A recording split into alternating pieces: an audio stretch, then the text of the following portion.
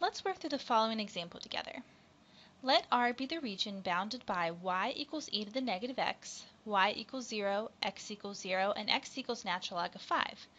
Calculate the volume of the solid formed when R is rotated around the x-axis. And we want to use the disk method um, to actually do this. So the first thing we probably want to do um, is just sketch uh, our region R, which I've already done here. So we have our function y equals e to the negative x, which forms a boundary of this region. And then we have um, y equals 0, x equals 0, and x equals a natural log of 5, forming the other sides of our region. So what's happening here? Well, basically we're going to take this region R and we're going to rotate it around the x-axis. And when we do that, it's going to form a solid of revolution. And what we want to do is we want to calculate the volume of that solid. So let me show you really quick what this solid would actually look like um, if we did this rotation. So here's my function y equals e to the negative x. Um, natural log of 5 is somewhere approximately here. Um, so here, once again, is our region R. Okay, and so if we rotate that around the x-axis, we're going to get something that looks like this three-dimensional solid here. And this is what we're trying to find the volume of. Okay, um, so we're told to use the disk method. Um, so what does the disk method say? Let's write it down. So the disk method says the volume of a solid of revolution is given by the integral from a to b of pi times f of x squared dx. Um, now, the situations where you can apply the disk method are where you have some region bounded by f and the x-axis, um, and then we're rotating that region around the x-axis.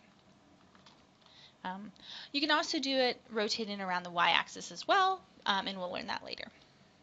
Uh, but anyway, uh, this is a great scenario for using the disk method because we have some function, in our case y equals e to the negative x, and we have some region between that function and the x-axis, and then we're rotating that region around the x-axis.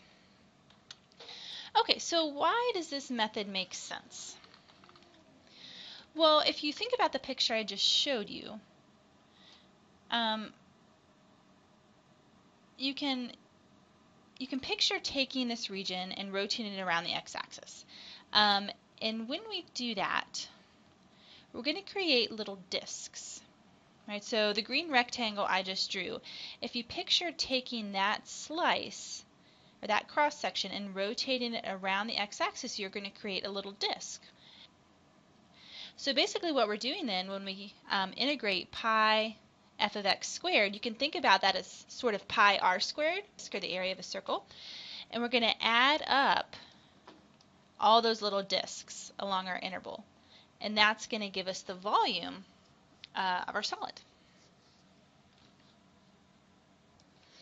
And so also I should note that um, each of these circular disks has this infinitesimal uh, width dx. Okay, so anyway, um, let's actually apply this formula um, and compute the volume of the solid. So because we're rotating around the x-axis, we're integrating with respect to x, which is always going to be the case for the disk method. Um, so then what I need to fill in to my integral here is, first of all, my function f of x. Uh, the function that forms this kind of outer boundary of the region being rotated around the x-axis. And in my case, that function is just e to the negative x. Okay, so I have pi times the quantity e to the negative x squared dx inside my integral. And then I need to fill in my boundaries a and b. Those are simply the x boundaries of the region. So in my case, my region starts at an x value of 0 and ends at an x value of natural log of 5.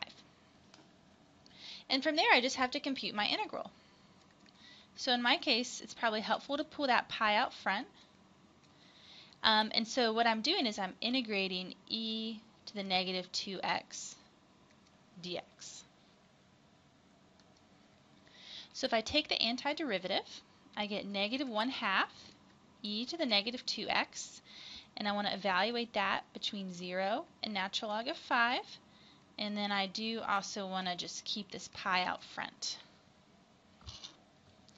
So that gives me pi times, I'm going to plug in natural log of 5, so negative 1 half e to the negative 2 ln 5 minus a negative, so plus 1 half e uh, to the negative 2 times 0.